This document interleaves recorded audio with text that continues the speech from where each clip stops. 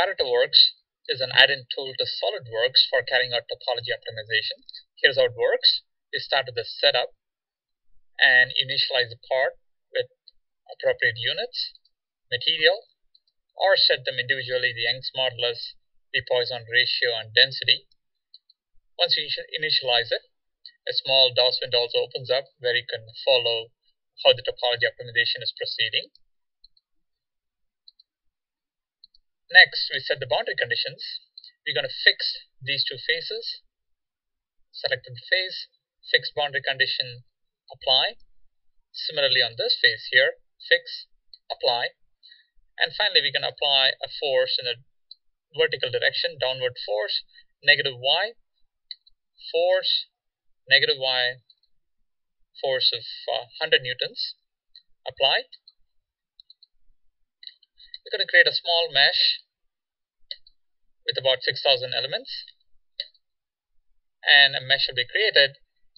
And here's the voxelized mesh with about uh, 5,000 elements. And uh, to make sure that your boundary conditions have been set correctly we can carry out a finite element analysis. We're done. And now we can look at the window that was opened up and you should see the stresses.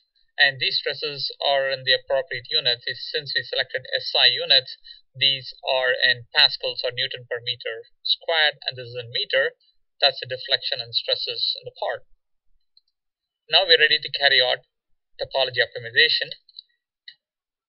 There are a couple of options. You can minimize the compliance or minimize the stress. We're going to stick with minimize the compliance or maximize the stiffness in other words with a target volume fraction of 0.5. That means we're, we're going to remove 50% of the material. And you can set up various constraints. And for example, you can say don't exceed twice the current compliance, don't exceed twice the current stress state, maximum stress state, and we're going to skip this for now.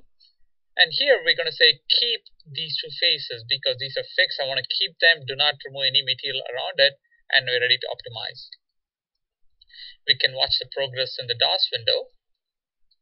And currently it's removed about 25% material. We're almost done. And it's been completed. The time taken is approximately 12 seconds on my desktop with 32 finite element operations. And we're done. And SolidWorks immediately opens up the STL file, which you see shortly. So this is the STL file for minimizing the compliance with 50% material removed. And now we can go back and uh, either do a rapid manufacturing of this or recreate a CAD model from this STL file. We're now going to rerun the previous example, but at this time we're going to minimize the maximum stress rather than the compliance. Uh, all other parameters being the same, we're going to optimize the part.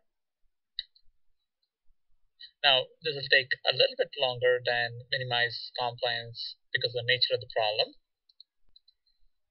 Once this is done, it, as you can see, it takes uh, about 45 seconds to complete.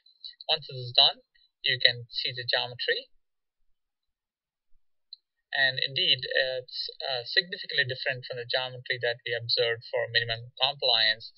And these topologies are important depending on what your objectives are.